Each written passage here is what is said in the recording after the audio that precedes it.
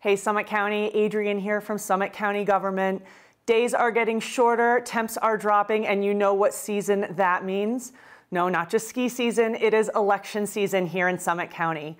And you know here in Colorado, we have a couple ways that you can raise your voice and extend your right to vote. Starting October 11th, we'll have ballots being mailed out to everyone who's registered to vote here in the county. So keep an eye on BallotTrax and on your P.O. box or mailbox if you're lucky enough to have one of those for your ballot coming in the mail. For those of you who prefer to vote in person, Election Day is Tuesday, November 5th, and polls are open from 7 a.m. to 7 p.m.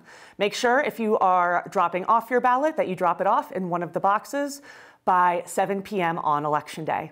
Thanks so much for exercising your right to vote here in Summit County, and we'll see you soon.